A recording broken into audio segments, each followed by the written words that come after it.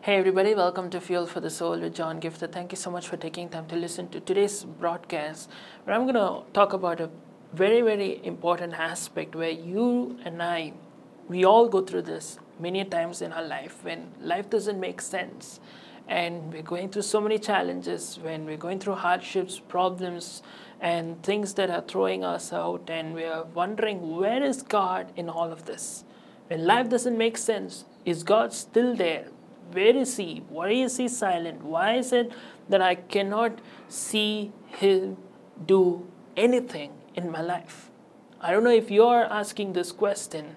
I don't know if you are crying about the fact that your life does not seem to make sense and you're looking at the current situation in your life and you're just feeling so disturbed because all you can think about is negative things which are happening. And you're wondering, yes, John, you're talking about the fact that as children of God, we have favor, we have grace, we are called to excel, we're called to you know, make His name great, we're called to do great exploits for the kingdom of God. But look at the reality of my life, it does not seem to make sense.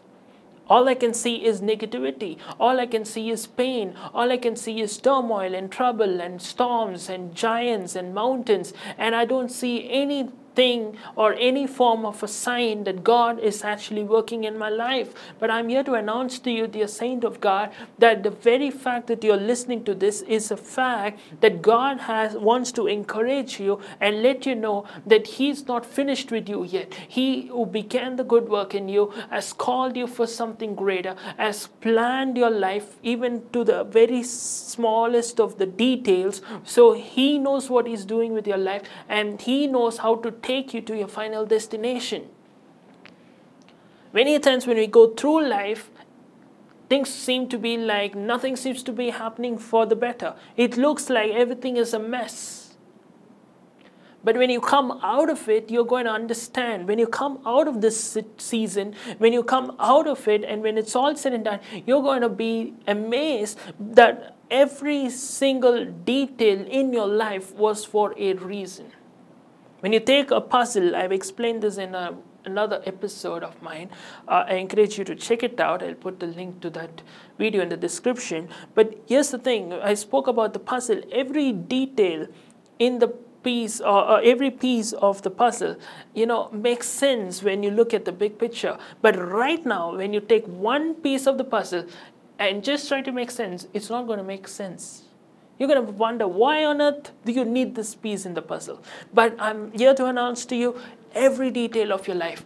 God has it all planned, He has it all figured out, and when it's all said and done, it is going to make sense in your life.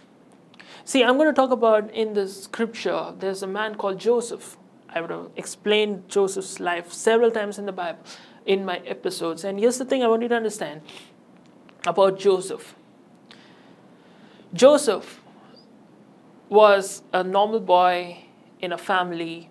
His brothers got jealous of Joseph because Joseph was called for greatness, and um, his brothers uh, decided to end his life, but then they sell him as a uh, you know sell him uh, as a slave, and then he goes and he's sold as a slave, and there the Bible says that he did a fabulous job so the one who's in charge, basically, uh, his name is Potiphar, to whom Joseph was working.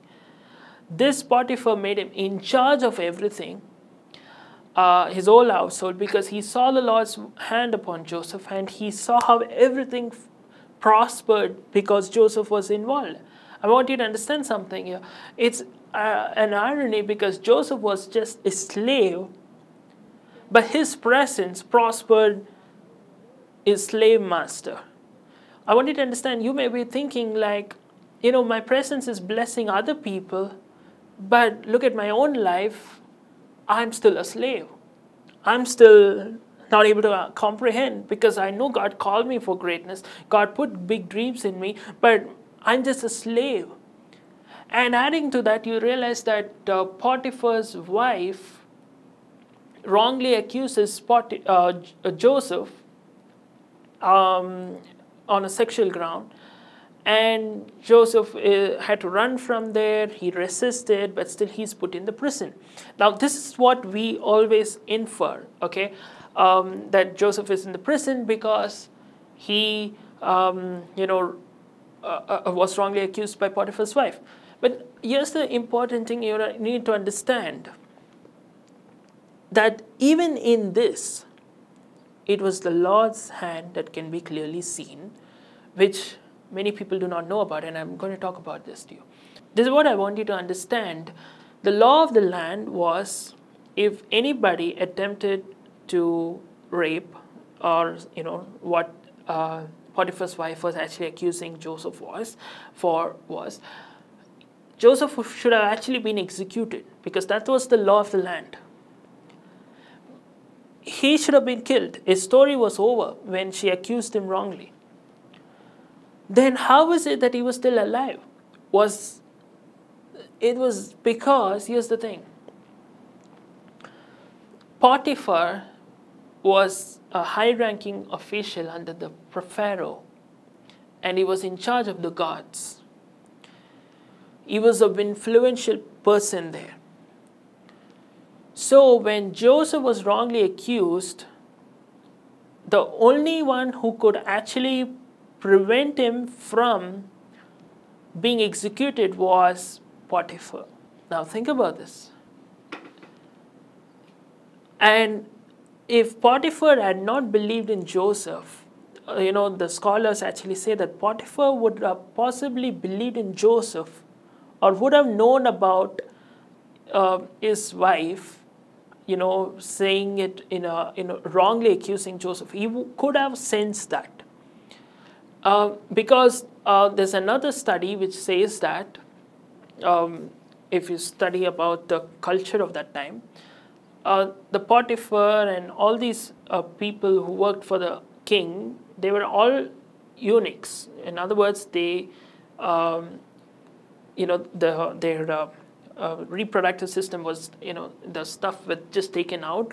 So they were basically done in such a way so that um, the king feared that these officials might, you know, uh, you know, make a greater impact for the kingdom. Or how do I put this in this way? The official or the, the king actually thought, okay, if um, we don't stop them, otherwise they can reproduce, and then what can happen is they can be more powerful than the king and they can overthrow the king. This is what the king taught.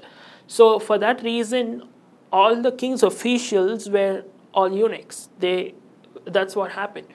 So because of this, Potiphar's wife longed for a sexual encounter, which she could not get from Potiphar.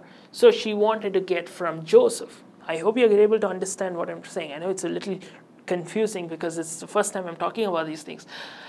And think about it. So Joseph was not, you know, in just a normal house. He was in Potiphar's house. And he was the one who was in charge of the prisons that were for, you know, the king's officials, the royal people. So that's why he had the ability to prevent Joseph from being executed and hence put Joseph in the prison which housed all the king's criminals or king's prisoners. And that's how Joseph got the connection to be in the prison where the king's official, the, the cupbearer, be in the same prison as Joseph was, and then Joseph interprets his dream. And long story made short, you know, when the king required somebody to interpret his dream, the cupbearer paves the way for Joseph to be taken to the palace, and the rest is history of how Joseph reaches the palace. But what you see is something so beautiful of all the people in the world, you realize that God ensured that Joseph was sold to Potiphar as a slave, not to somebody else, but to Potiphar. And of all the things, Potiphar trusted in Joseph. Otherwise, Potiphar could have been the first one to kill Joseph. He had all the right to do it, but he didn't. And you see even though in normal circumstance it looked like it was bad, it was negative, and things like that. All the forces were against Joseph. You see, the hand of God was sovereignly working behind the scenes in Joseph's life.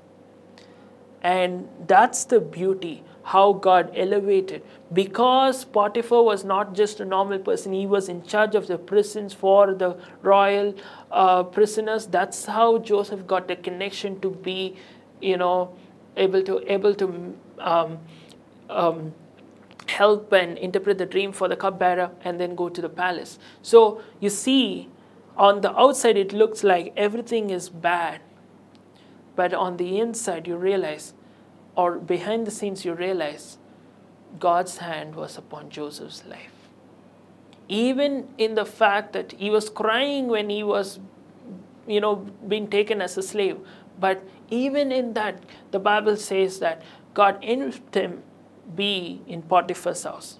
If he had been, uh, if the same situation had happened in anybody else's house and not Potiphar's house, Joseph would have been executed. So what you realize, if something, you know, is not your time for you to be executed, nobody can stop. God can make things happen in such of minutest of details. He can he pays attention to it to ensure that you are safe and you are protected, you are watched, and that every of those details will make sense when it's all said and done. See, when Joseph was going through that, he wouldn't have understood why am I in Potiphar's house? Why not in somebody else's house? Or when he was going through that, he wouldn't have understood, you know, because of this, I'm in the prison now. Otherwise, if I'm executed, I would have died. My life is over. At least I won't be in pain. Or, you know, why is uh, Potiphar's wife accusing me wrongly? All these questions could have come. But later, when you look back, everything makes sense. See, I want to leave with this example. Many times when I go through life, things like life doesn't seem to make sense. Like uh, when I look at my own life, oh no god i wanted to see this happen in my life. I wanted to see my ministry grow this much or see progress in my ministries progress in my life. But things seemed like nothing was happening.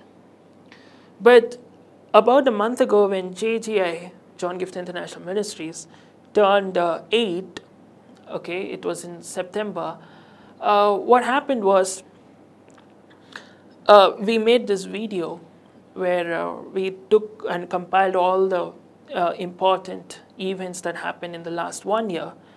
And I was really astonished to see how God reminded me of how things started as a dream about a decade ago. Things started small. Things start, were just, you know, with Photoshop kind of a picture. How God translated it to become a reality. When I looked at life, it seemed like nothing was happening. But when I took time to pause and look back at the big picture, it made sense. And even now, when I look at life, it doesn't make sense. But I know one day, when I look back at this moment, it's going to make sense. And that's the word I want to encourage you. That even when life doesn't make sense, keep moving forward, keep holding on, keep trusting God. When it's all said and done, it will make sense. I hope this message blessed you, encouraged you, taught you something. Would love to hear from you. Do like, comment, share, and subscribe. I encourage you to connect with me through social media. The details are all in the description. Also, check out my everyday podcasts that are available. And don't forget to buy my books, okay? Uh, especially my new book, Unveil Your Purpose, which is available as well. May God bless you. Amen. Hey guys, I encourage you to check out my new number one book, best selling book, Unveil Your Purpose A Complete Guide to Live the Life That You've Been Created For. It's something I really encourage each of you to get it because I believe it's going to uh, change your life and it'll be a game changer for you because I believe a lot of people say that, you know, they're not sure how to discover their purpose. They're not sure how to walk in their purpose. But this book will definitely give you the clear mind and guidance to take the right step. So I encourage you to uh, get it. The details are all available in the description. And uh, if you have any more questions, do feel free to reach out to me. God bless you. We hope you were blessed by this special program by the John Giftah International Ministries and we are looking forward to hear from you. We invite you to stay connected with us through all our services, events, YouTube and other social media forums for regular inspirations, teachings and further updates. You can also know more about our ministry by logging on to www.johngiftah.com.